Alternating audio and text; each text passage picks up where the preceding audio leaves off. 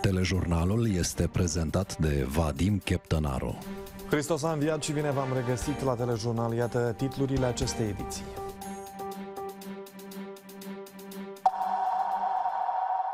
Deputații adunării populare a Unității Teritoriale Autonome Găgăuz au adoptat în regim de urgență o lege prin care se permite utilizarea panglicii Sfântul Gheorghe pe teritoriul regiunii. Un înalt reprezentant OSCE pentru procesul de reglementare transnistreană se află într-o vizită oficială în Republica Moldova și va avea discuții despre situația de securitate din regiune. Gazprom a confirmat oficial că va continua să livreze gaze naturale Republicii Moldova și în luna mai, la un preț de 910 dolari pentru 1000 de metri cubi. Deputații Adunării Populare a Unității Teritoriale Autonome Găgăuz au adoptat în regim de urgență o lege prin care se permite utilizarea panglicii Sfântul Gheorghe pe teritoriul regiunii. Legea ar urma să fie promulgată de bașcanul Irina Vlah. Ministrul Justiției spune că decizia este una ilegală, iar Procuratura Generală spune că toți cei care vor încălca legislația Republicii Moldova vor fi trași la răspundere.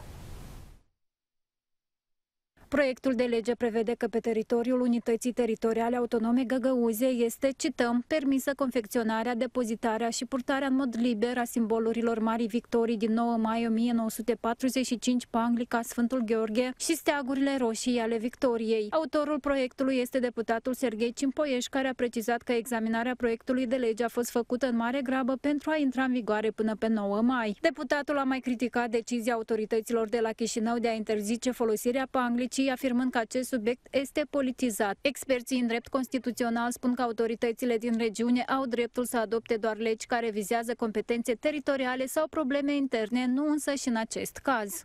În cazul dat, noi avem uh, o speță când există legea Republicii Moldova care are putere juridică superioară în raport cu normele adoptate de adunarea populară a Găgăuzia. De câte mi-amintesc eu așa, n-au fost așa contradicții de, de acest gen între au fost dar de altă natură.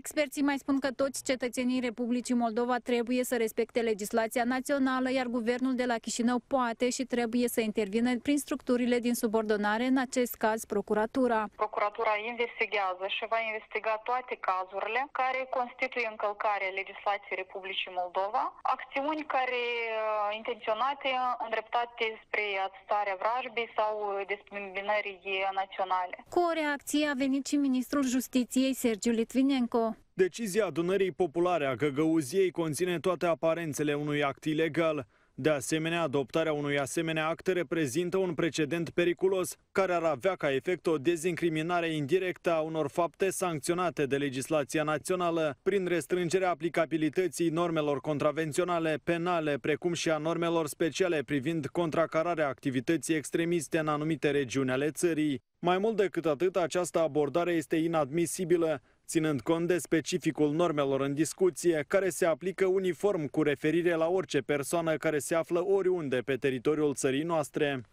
Contactată telefonic pentru o reacție, bașcanul Găgăuziei Irina Vlah nu a fost de găsit. Pe 14 aprilie, Parlamentul de la Chișinău a votat legea care interzice simbolurile care reprezintă războiul, printre care literele Z și V, dar și panglica Sfântul Gheorghe. Președintele Maia Sandu a precizat atunci că legea nu atentează niciun fel la memoria noastră istorică. Potrivit legii, persoanele fizice care vor afișa simbolurile interzise, panglica Sfântul Gheorghe și literele Z și V riscă amenzi de până la 9000 de lei. În cazul persoanelor juridice și cele cu funcție publică, amenda va crește până la 18.000 de lei.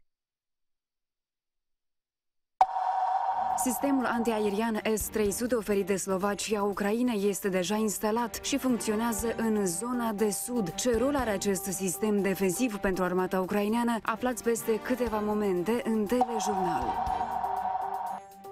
Astăzi și mâine în Republica Moldova se află într-o vizită oficială reprezentantul special al președintelui în exercițiu al OSCE pentru procesul de reglementare transnistreană, Thomas Meyer Harting.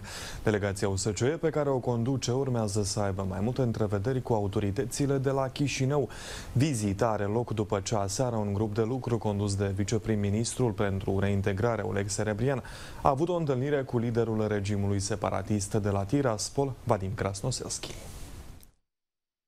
Dinle Din delegația oficială condusă de viceprim-ministrul Oleg Serebrean a mai făcut parte și consilierul prezidențial în domeniul apărării și securității naționale Dorin Recean. A vizat situația curentă de securitate din regiune, s-a mai vorbit despre unele aspecte ce țin de problemele vamale, sociale, umanitare, despre relansarea dialogului în cadrul tuturor platformelor existente. Experții în problema transnistreană spun că este greu de estimat care va fi rezultatul discuțiilor în condițiile în care nu au fost făcute publice detaliile despre întrevederea cu liderul regimului separatist de la Tiraspol, Vadim Krasnoselski. Eu nu exclud că în situația dată, când Moscova manifestă nemulțumire față de situația din uh, regiune, Chișinău ar putea accepta careva schimbări în modalitatea, în ordinul de traversare a vamii a unor mărfuri, cum ar fi medicamente, cum ar fi produse alimentare și altceva. Nu se exclude că Chișinău, la rândul său, s-a încredințat în ceea că nu va rămâne fără gaz și energie electrică. Cu o reacție la recentele incidente de securitate din regiunea transnistriană a venit și înaltul reprezentant al Uniunii Europene pentru afaceri externe și politică de securitate, Josep Borrell. Incidentele semnalate în regiunea transnistreană a Republicii Moldova în ultimele zile sunt dăunătoare securității și stabilității Republicii Moldova. Uniunea Europeană face apel la actorii responsabili să evite destabilizarea situației. Salutăm cu căldură reacția reținută a autorităților din Republica Moldova care contribuie la păstrarea calmului în țară. Astăzi și mâine, într-o vizită oficială în Republica Moldova, se află reprezentantul special al președintelui în exercițiu al OSCE pentru procesul de reglementare transnistreană, Thomas Mayer Harting. De dimineață, delegația a avut o întâlnire oficială cu reprezentanții Biroului Politici de Reintegrare. Ministrul apărării din România, Vasile Dâncu, a declarat în exclusivitate pentru TVR că incidentele din regiunea Transnistriană arată că încercarea de a împinge conflictul din Ucraina spre o altă zonă decât cea în care se desfășoară. Autoritățile române monitorizează situația cu atenție și sunt în contact permanent cu autoritățile din Republica Moldova și Ucraina. Care este evaluarea ministrului român al apărării privind uh, incidentele din Transnistria?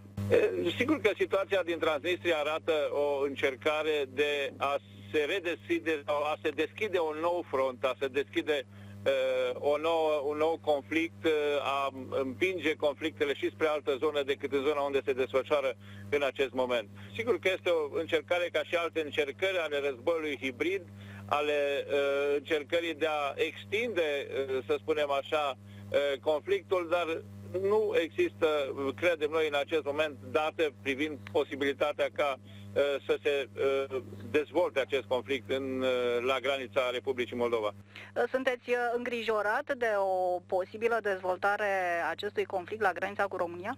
Nu ne îngrijorează excesiv acest conflict, această acest început de conflict, să zicem așa, aceste evenimente din acest moment, dar le privim sigur cu atenție. Suntem și noi în corespondență continuă cu autoritățile din Republica Moldova, cu cele ucrainiene, încât să putem preveni o posibilă dezvoltare a acestor evenimente. Sistemul antiaerian S-300 oferit de Slovacia Ucrainei este deja instalat și funcționează în zona de sud. Anunțul a fost făcut chiar de forțele armate antiaeriene ale Ucrainei. Potrivit lor, sistemul defensiv poate detecta și distruge rachete și avioane și are o rază mare de acțiune. S-300 este o garanție de securitate și pentru spațiul aerian al Republicii Moldova în cazul unei invazii antiaeriene din sudul Ucrainei.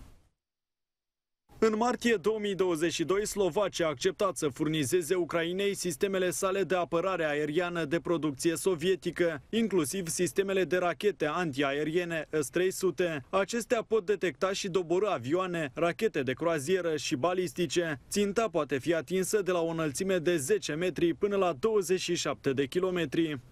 Continuăm să ne apărăm cerul de amenințările Rusiei. Complexul S-300 își desfășoară în mod eficient activitatea împotriva unei mari părți a instalațiilor ocupanților ruși și poate dobora avioane, rachete de croazieră și rachete balistice la o distanță de la 5 până la 150 de kilometri. Acest complex îndeplinește deja misiuni de luptă. Există un început, va exista o continuare.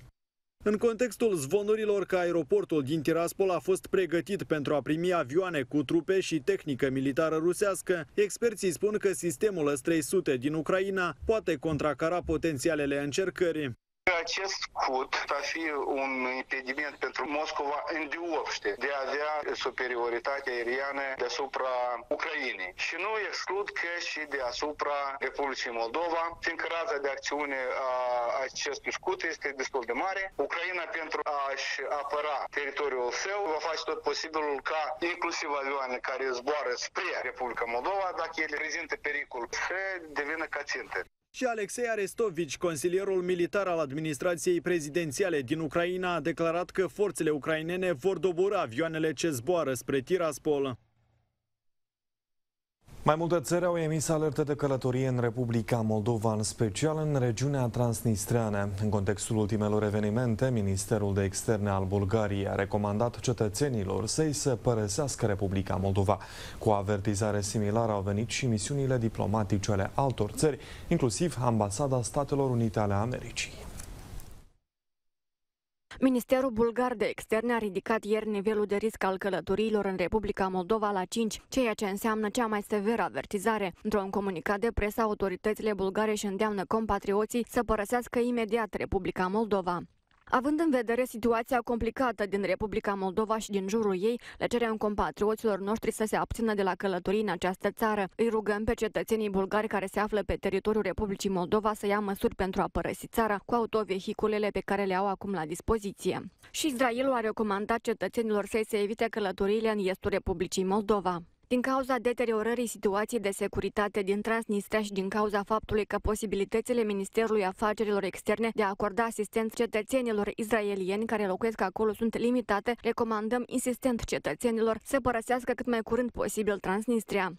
Cu o zi mai devreme și Departamentul de Externe al Canadei a venit cu avertizare similare. Totodată, Ambasada Statelor Unite în Republica Moldova a actualizat nivelul 4 de risc pentru călătorile în regiunea transnistreană și a sfătuit pe cetățenii săi să părăsească imediat teritoriul din stânga Nistrului. Potrivit autorităților americane, decizia a fost luată ca urmare a exploziilor care s-au produs pe 25-26 aprilie. O avertizare similară a fost emisă de Departamentul American de Stat și pe 19 aprilie. De la începutul războiului ruso-ucrainean, Ministerul Ministerul francez de externe și cel al Marii Britanii au recomandat cetățenilor săi să evite călătoriile pe malul stâng al Nistrului. Ministerul Afacerilor Externe și Integrării Europene din Republica Moldova a venit cu o reacție la tensionările misiunilor diplomatice. Potrivit MEAE, anunțurile fac parte din protocolul de siguranță al acestor țări, ca urmare a înregistrării recente a incidentelor din regiunea transnistreană. Actualizarea avertismentelor de călătorie este o practică frecvent întâlnită, iar evaluarea oportunității atribuirii nivelurilor de alertă este stabilită în baza criteriilor naționale distincte.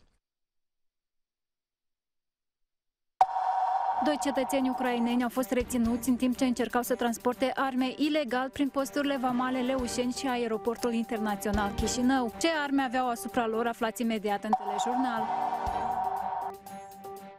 Capitala Ucrainei a fost lovită din nou de armata rusă. Două rachete au căzut aseară în centrul Kievului și au avariat un bloc de locuințe. Atacul a avut loc în timp ce acolo se afla secretarul general al ONU, Antonio Guterres.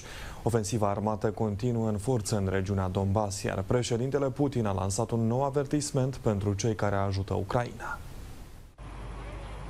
Două rachete de croazieră au căzut în plin centrul Kievului. Una a lovit primul etaj al unui bloc de locuințe și cel puțin 10 oameni au fost răniți. În această dimineață, o persoană a fost găsită decedată sub dărâmături, a anunțat primarul Vitali Klitschko. Clădirea a fost grav avariată și a luat foc, iar pompierii au luptat mai multe ore pentru stingerea flăcărilor. Atacul a avut loc în timp ce la Kiev se afla și secretarul general ONU, Antonio Guterres. Eu creio que o que é importante não é que o secretário-geral esteja ou não esteja na capital ucraniana, o que é importante é que houve um ataque à capital ucraniana. Eh, isso chocou-me porque Kiev é uma cidade sagrada, quer para os ucranianos, quer para os russos.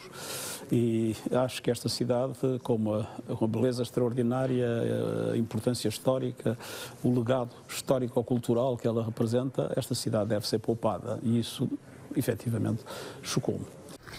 Anterior acestui atac, Guterres a mers în localitățile devastate de ruși și unde au fost comise adevărate orori și a avut discuții cu președintele Zelensky, la o zi după ce vizitase și Moscova. Pentru liderul ucrainean, atacul de aseară de la Kiev este un nou exemplu al atitudinii sfidătoare a Rusiei. І це багато що говорить про справжнє ставлення Росії до глобальних інституцій, про намагання російського керівництва принизити ООН і все, що організація уособлює. А отже, вимагає відповідної потужної реакції.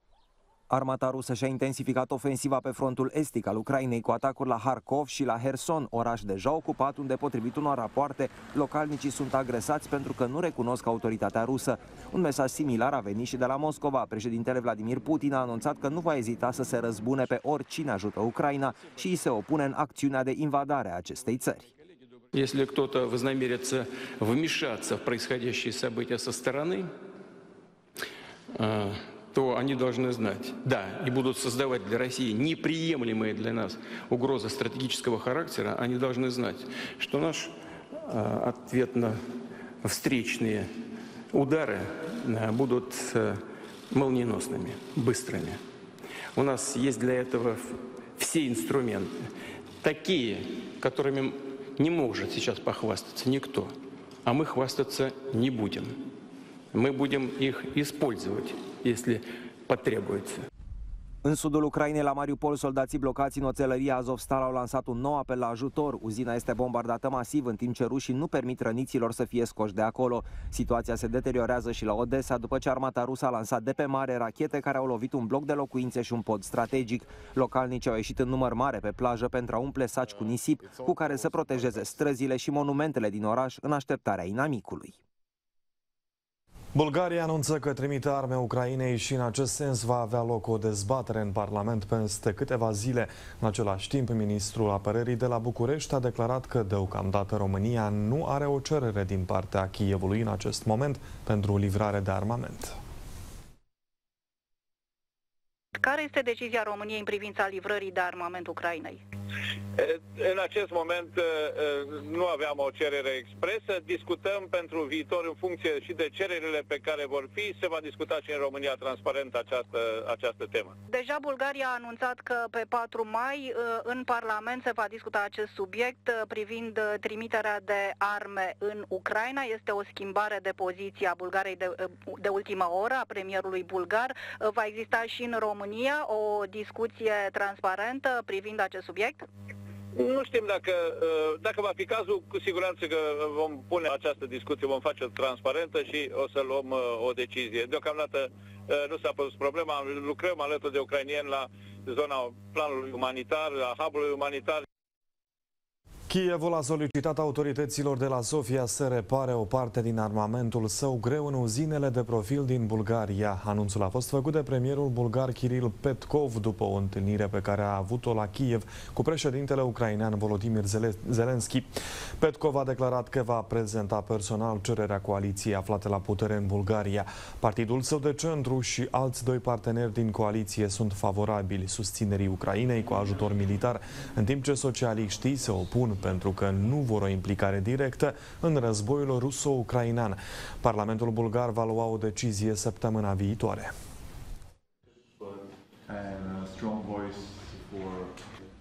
full support for, for Ukraine and I look how Doi cetățeni ucraineni au fost reținuți în timp ce încercau să transporte ilegal arme prin posturile vamale Leușeni și aeroportul internațional Chișinău.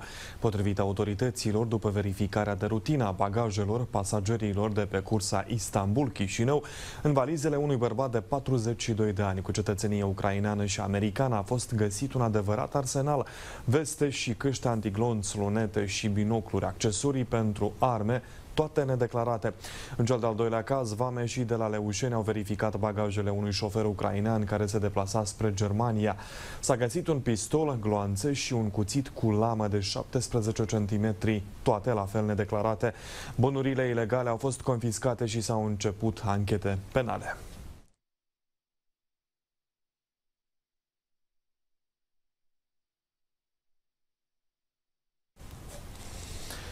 Comisia pentru situație excepțională a decis să aluce Ministerului Educației peste 322.000 de lei din fondul de intervenție al Guvernului. Banii vor fi utilizați pentru centrele de plasament temporar pentru refugiați.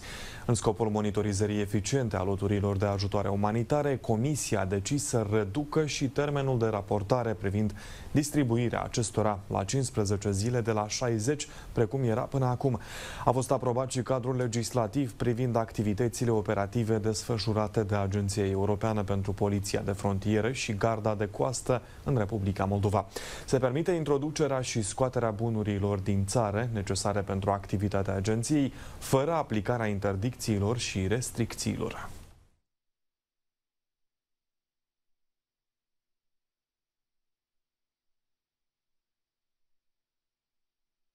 La 30 de ani de la începutul conflictului armat de la Nistru, în satele situate în zona de securitate, s-au auzit din nou explozii. Localnicii se tem că războiul dus de Rusia împotriva Ucrainei s-ar putea extinde și pe teritoriul Republicii Moldova. Coșnița, Pohrebea și Dorotskaya sunt trei sate învecinate din stânga Nistrului, dar aflate sub controlul autorităților de la Chișinău. Aici locuiesc aproape 10.000 de cetățeni ai Republicii Moldova. Oamenii trăiesc cu frica în sân și spun că ultimele incidente din regiunea transnistriană îi duc cu gândul la ororile războiului din 1992. Auzăm că explodează și ședem cu frica în sân, că știm și asta, care putem să avem putem să avem niște un fel de păreri bune. Suntem toată vremea în gardă și, și așteptăm zi cu zi. Vă aduceți aminte de război din 92 cumva? Dar cum să nu ne aducem aminte dacă l-am trăit? Pe lumânări am cumpărat de parafină. Știm că am fost fără lumină, noi am trăit lucrurile astea.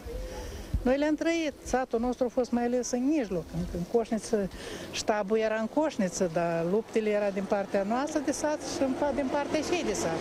Noi am stat în mijloc, noi știm și asta, și fără lumină, și, fără, și când deasupra trăsnește și... Da, și să facem? Nu vrem să se repete lucrurile astea, dar nu ne întreabă pe noi. Acum nu e ceea ce a fost odată. Acum alte, alte posibilități, alte armament, alt, alte muniții au. Și ne temem, într-adevăr ne temem. Pentru copii, pentru nepoți, pentru copii. Am și un băiat mare care mi-e frică. Avem frică de copii, de atâta că 92 am văzut și am... Ce, ce, ce înseamnă asta? Am fost și refugiați, și ascunși, și lacrimi au fost. Hm? Dar nu vrem, nu dorim. Ce a fost, nu dorim. Vrem pace. Pace își doresc și combatanții care au luptat în 1992 pentru apărarea independenței și integrității teritoriale a Republicii Moldova. Veteranii știu cu adevărat ce înseamnă război. Parcă suntem liberi, tot cum scade, pace, dar totdeauna în suflet șierbi ceva, snușii ceva mai strașnic, ia ca acum. Dar de obște și pozitiv. Am nevoie n-ar dori să fie, căci avem și nepoți, strănepoți și ar fi dorit să trăiască măcar ei în pace. Ce alte mărturii au mai făcut oamenii, vedeți sâmbătă în rubrica Reportajele Telejurnalului. Agenția Națională pentru Siguranța Alimentelor a inițiat procedura de retragere din comerț a unui lot de orez periculos pentru sănătate. Detalii puțin mai târziu în telejurnal. Gazprom a confirmat oficial că luna viitoare va continua să livreze gaze naturale Republicii Moldova. Potrivit unui anunț al societății pe acțiuni Moldova Gaz, furnizorul rusesc va livra 131 de milioane de metri cubi pentru regiunea transnistreană și 32 de milioane de metri cubi pentru malul drept al Nistrului. Prețul calculat pentru luna mai este de 910 dolari pentru 1000 de metri cubi de gaz, cu aproape 300 de dolari mai puțin decât în această lună. Anterior Anterior, directorul Moldova Gaz, Vadim Ceban, spunea că nu va cere majorarea tarifelor la gazele naturale pentru consumatorii finali. Potrivit ministrului infrastructurii și dezvoltării regionale, Andrei Spânu, o asemenea decizie ar putea fi luată în luna iunie.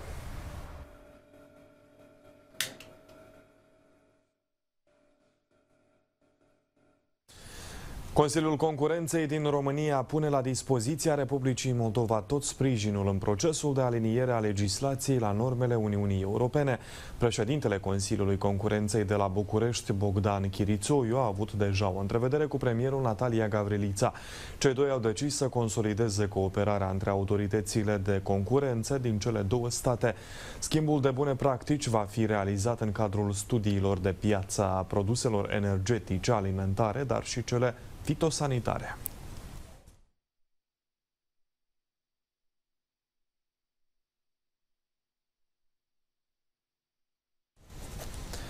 Comisia Europeană a oferit ultimele detalii privind integrarea Republicii Moldova în Uniunea Europeană. Europarlamentarul Eugen Tomac spune că a primit astăzi un răspuns din partea șefului diplomației europene, Josep Borel, cu privire la integrarea accelerată a Republicii Moldova în Uniunea Europeană. Potrivit lui Borel, Comisia Europeană recunoaște aspirația europeană și alegerea căii europene exprimate în mod clar. Europarlamentarul român Eugen Tomac a publicat răspunsul șefului diplomației europene pe o rețea socială. Republica Moldova a depus o cerere de aderare la Uniunea Europeană la 3 martie 2022. La 7 martie 2022, Consiliul a invitat Comisia să își prezinte avizul cu privire la cererile de aderare înaintate de Ucraina, Republica Moldova și Georgia. Invitația a fost reiterată cu ocazia Consiliului European din 24-25 martie. Comisia avansează rapid cu lucrările legate de formularea acestor avize. Deciziile privind măsurile ulterioare vor fi luate de Consiliu. Europarlamentarul Eugen Tomac și-a exprimat susținerea pentru integrarea europeană rapidă a Republicii Moldova.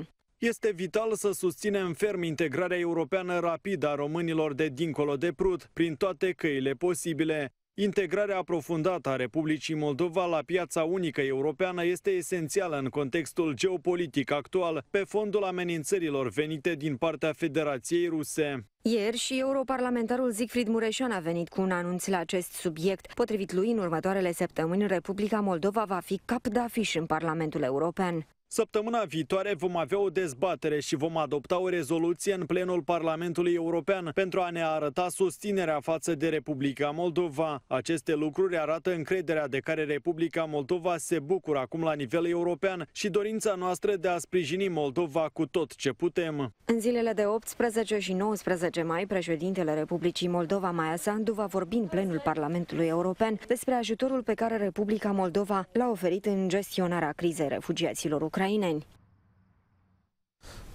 Procurorii de la crimă organizată au terminat urmărirea penală în cazul unui funcționar de la căile ferate care ar fi adus întreprinderii pagube de aproape 100 de milioane de lei.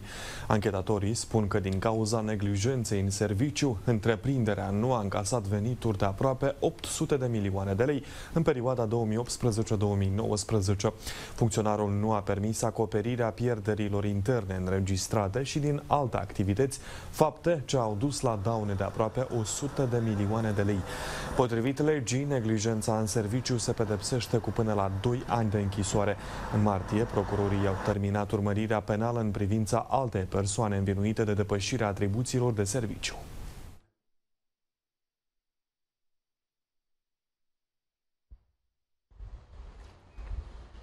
Agenția Națională pentru Siguranța Alimentelor a inițiat procedura de retragere din comerț a unui lot de orez periculos pentru sănătate. Agenția Națională pentru Siguranța Alimentelor informează că în cadrul programului de monitorizare și supraveghere în domeniul siguranței și calității produselor alimentare de origine non-animală pentru anul 2022 a fost depistat un lot de orez cu depășirea nivelului maxim admisibil de arsen organic. Vorbim despre orez șlefuit cu bob rotund calitatea 1, care este ambalat la data de 11.04.2022. Orezul vizat conține un nivel de arsen anorganic de 1,6 mg per kilogram de în loc de 0,2 mg per kilogram, limita admisibilă. Specialiștii au găsit și ambalaje neconforme și informații eronate privind data fabricării. Potrivit legii, operatorii din domeniul alimentar sunt obligați să retragă urgent lotul de pe piață. ANSA informează cetățenii că în cazul în care depistează produse alimentare neconforme sau cu abateri de la prevederile legislației pentru pentru protecția consumatorului sunt îndemnați să depună plângeri la agenție sau să apeleze linia verde 0800 833.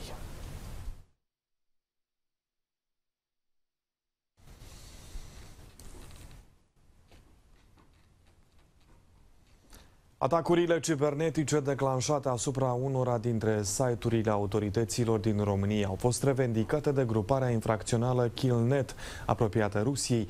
Potrivit acestei grupări, agresiunile informatice sunt un răspuns la promisiunile guvernanților de la București de a ajuta Ucraina. Atacurile nu au vizat furtul de date, ci numai blocarea accesului la respectivele pagini de internet. Acestea au redevenit funcționale în câteva ore.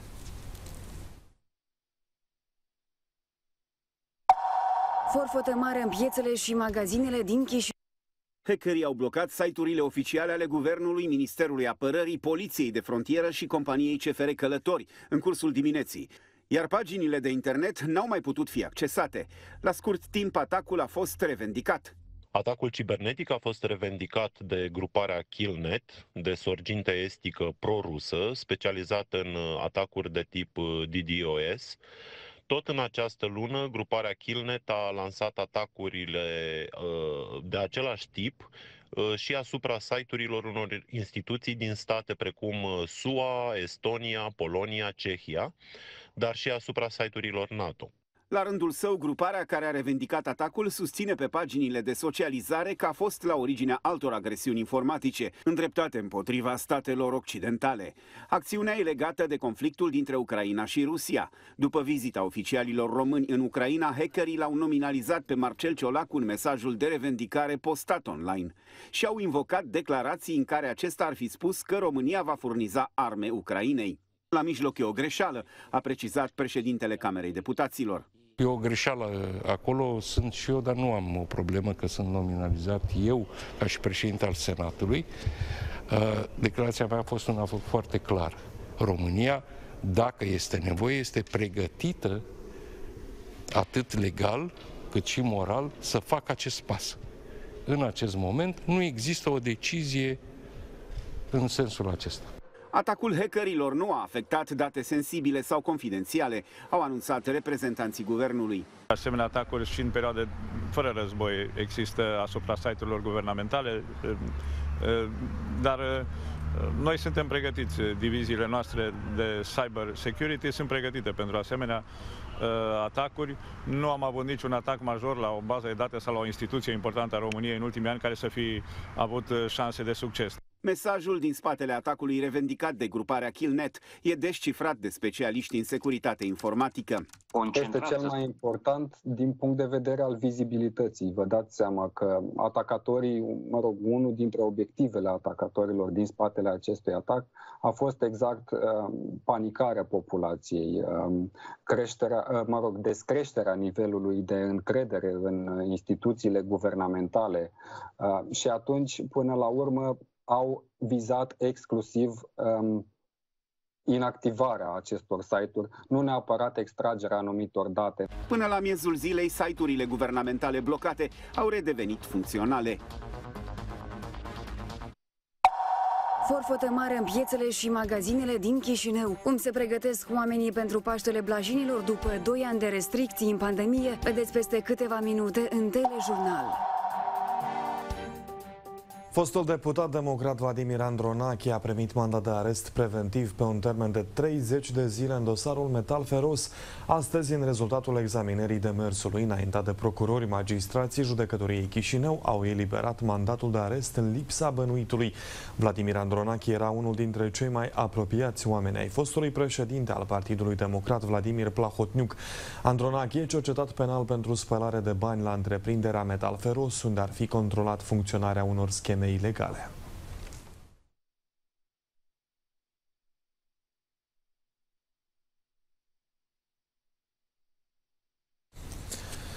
Prim-ministrul Republicii Moldova, Natalia Gavrilița, a avut o întrevedere de rămas bun cu ambasadorul României la Chișinău, Daniel Ioniță. Șeful executivului a mulțumit ambasadorului pentru susținerea și contribuția personală depusă de-a lungul anilor pentru consolidarea relațiilor dintre Republica Moldova și România.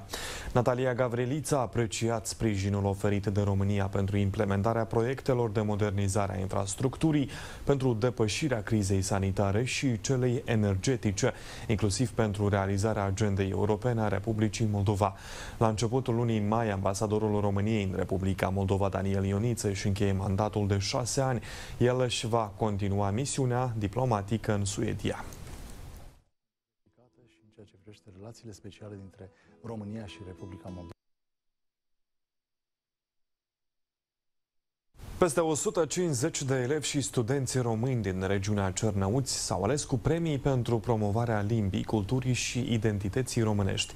Evenimentul a avut loc după ce la sfârșitul anului trecut Departamentul pentru Românii de Pretutindene a inițiat mai multe proiecte menite să încurajeze tinerii din comunitățile istorice românești să promoveze valorile culturale naționale. Școlari români de pretutindeni, cartea de acasă, tableta cu cărți, promovarea valorilor românești și a simbolurilor naționale sunt câteva dintre proiectele organizate de Departamentul pentru Românii de pretutindeni la Cernăuți. Însemn de apreciere în cadrul unei ceremonii de premiere, peste 150 de elevi și studenți au primit în dar laptopuri, tablete și ghiostane. Voi sunteți copiii noștri minunați de care ne bucurăm în fiecare zi, cei mai buni copii cu rezultate foarte bune la școală. Mulțumim părinților care vă încurajează și vorbiți limba română, frecventați școlile de cu predare în limba română și pentru asta suntem mândri de voi pentru că avem uh, tinere vlăstare care duc generațiile noastre mai departe pentru identitatea uh, noastră uh, românească. Elevii s-au arătat entuziasmați de cadouri și spun că, deși se află în afara granițelor României, își fac tema pentru acasă cu dragoste față de valorile românești. Mulțumim statului român pentru cadouri prețioase care ne-au ajutat în anul de învățământ. Mulțumesc, pace, pace tuturor, mulțumesc frumos! Este ziua mea de naștere și sunt foarte bucuroasă că am primit acest cadou din partea statului român.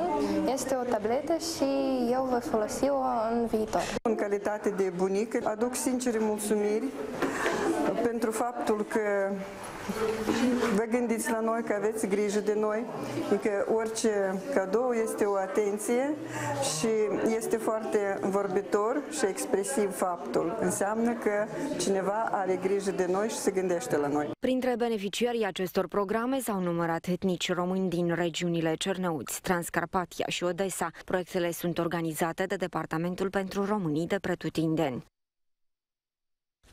Forvot mare în piețele și magazinele din Chișinău se fac pregătiri pentru Paștele Blajinilor, iar după 2 ani de restricții în pandemie, creștinii caută pomeni pentru a-i comemora pe reposați. Se cumpără vesele prosoape, dar și pomeni cu prețuri mari.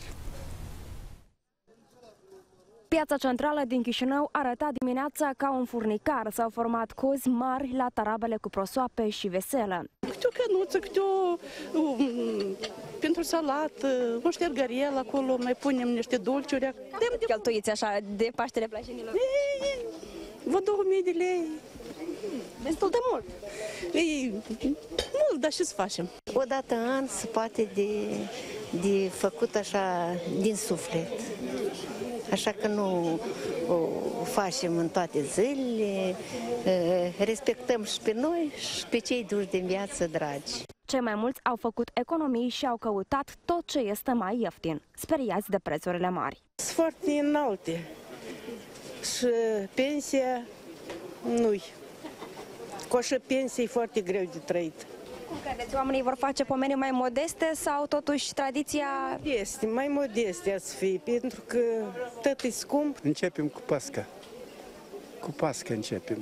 Și după ce diferite prăjituri.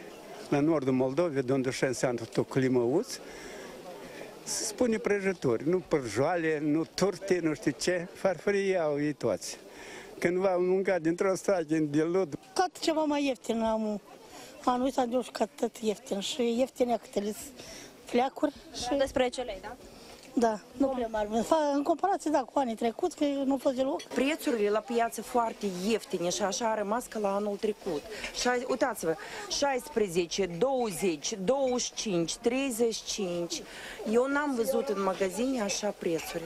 Tradiția basarabenilor pentru Paștele Blajinelor nu e chiar pe placul tuturor și aceștia recunosc că dau de pomană doar pentru a fi în rând cu toți ceilalți. Însă se mai speră că restricțiile i-au învățat pe unii credincioși să nu pună preț pe mesele copioase la cimitir sau pe competiția pentru cantitatea de pomene. Am cumpărat mai mult uh, ceva ușor, colțuni, ștergare. Eu am fost la Italia și am văzut ce e acolo și ce fac aici, asta e o prostie. Dar dacă fac toți, fac și eu. Doi ani n-am făcut și a fost așa de bine. Ne ducem, la, facem uh, curățenie la cimitir, punem flori și eram ca oamenii civilizați din Europa. Paștele Blajinilor este marcat în prima duminică după învierea Domnului. În unele localități se sărbătorește două zile. În vinerea din săptămâna luminată, creștinii ortodoxi prăznuiesc izvorul tămăduirii. Sărbătoarea se referă la vindecarea unui orb după ce Maica Domnului i-a vestit lui Leon cel Mare să ducă să se spele cu apa unui izvor aflat într-o pădure din apropierea Constantinoporului. Au fost slujbe în toată România și apele au fost sfințite. Cu bucurie și speranță, credincioșii au luat acheasmă.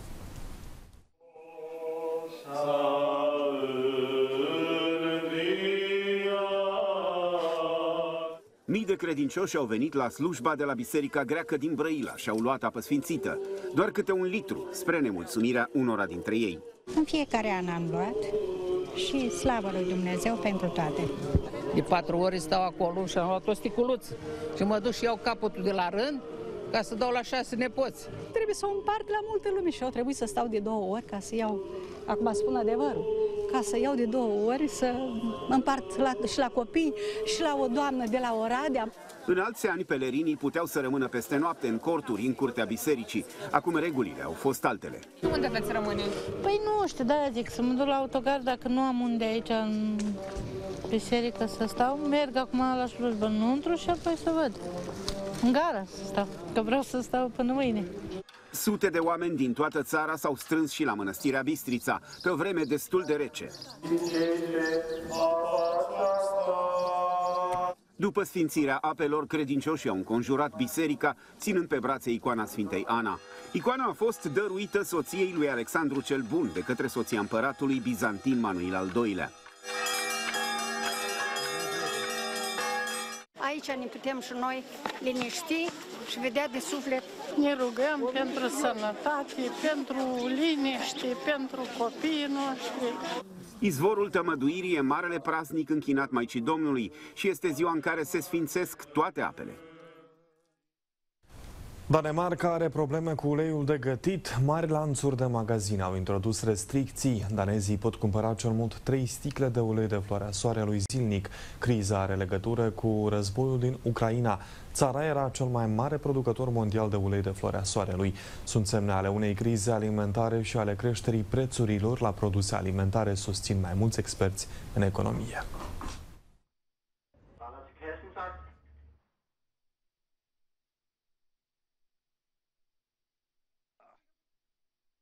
Creșterea prețului la energie electrică afectează transportul public din Madrid. Numărul de metrouri care operează în capitala Spaniei a fost redus în medie cu 10%, în condițiile în care factura la energie s-a mărit de aproape 5 ori comparativ cu anul trecut. Autoritățile au exclus orice creștere a prețului călătoriei. Metroul din Madrid își mai restrânge activitatea din cauza prețului la energie. Numărul trenurilor a fost redus în medie cu 10% și cu doar 4% în orele de vârf, când, de exemplu, dacă până ieri circulau 324 de trenuri, de astăzi sunt doar 311. Factura zilnică pentru energie a companiei de metrou este acum de 830.000 de euro, comparativ cu doar 120.000 cât plătea în 2021. Guvernul regional a exclus o creștere a prețului călătoriei. Obviamente, en un contexto en el cual nos encontramos en el que el precio del megavatio hora es tan elevado, esta medida, además de adecuar la oferta a la demanda, va a suponer un beneficio respecto a la cuenta de resultados de Metro de Madrid. Oficialii companiei de metro spun că aceste reduceri vor afecta puțin oamenii în condițiile în care numărul de călători este mai mic comparativ cu perioada dinaintea pandemiei, iar timpii de așteptare la metro vor crește cu doar câteva zeci de secunde. Nu aceeași părere au unii politicieni locali care au făcut propriile calcule. Esto significa que uno de cada 10 metros no va a venir, uno de cada 10 trenes. Esto significa que va a haber 900 trenes menos. Esto significa que el tiempo de espera va a pasar de 3 a 7 minutos. Y esto significa que la señora Ayuso nos está robando 6.000 horas de vida a los madrileños y las madrileñas. Și ecologiștii critică măsura despre care spun că îi va împinge pe mulți spre mașini, lucru care va crește poluarea în oraș. Metroul din Madrid are peste 300 de stații și acoperă întregul oraș și cele mai multe suburbii, fiind una din cele mai mari rețele din Europa. După 5 săptămâni de carantină dure, locuitorii din Shanghai au ajuns la capătul puterilor. Oamenii ies seara la ferestre și fac zgomot cu oale și ustensile de bucătărie.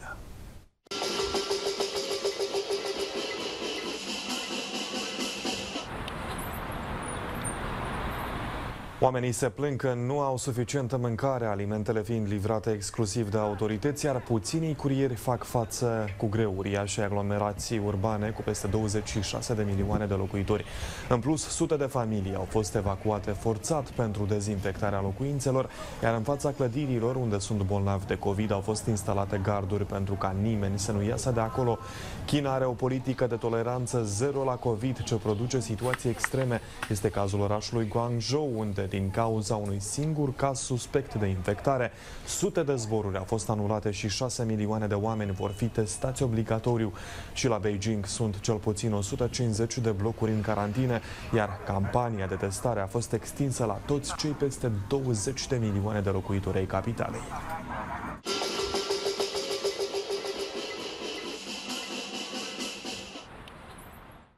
Trupa Zdop și Zdup și frații Advahov, cei ce reprezintă Republica Moldova la Eurovision, au plecat astăzi la Torino pentru a se pregăti de semifinala concursului. Artiștii au cântat în timpul zborului spre bucuria pasagerilor din aeronave care au aplaudat și nu au ezitat să filmeze momentul artistic. Reprezentanții Republicii Moldova vor evolua cu piesa Trenulețul în prima semifinală la Eurovision în 10 mai alături de artiști din alte 17 țări. Ei spun că au pregătit un show pe cinste și speră la un loc de frunte la marea finală din 14 mai.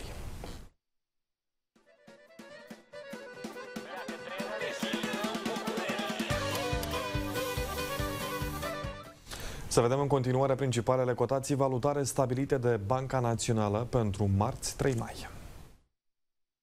Dolarul american va costa 18 lei și 61 de bani, cu 8 bani mai mult decât astăzi. Moneda europeană se va scumpi cu 21 de bani și va putea fi cumpărată cu 19 lei și 66 de bani. Leul românesc se va cota la 3 lei și 97 de bani. Hrivna ucraineană va costa 61 de bani și rubla rusească 26 de bani. Pe final să vedem și datele despre vreme.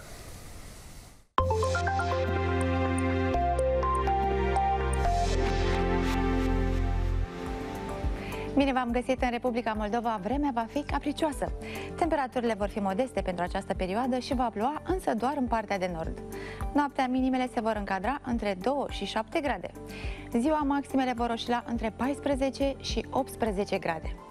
La Chișinău, la noapte, minima va coborâ la 6 grade, iar mâine se va înregistra o temperatură maximă de 17 grade. Deci se va încălzi ușor, iar cerul va fi variabil. În România, vremea se va ameliora ca aspect și se anunță un weekend cu temperaturi în creștere și cu multe momente însărite. Mâine se vor înregistra maxime cuprinse între 14 și 22 de grade. Acestea au fost informațiile despre vreme. Sunt Florina Constantinescu și vă mulțumesc pentru atenție. Pe curând!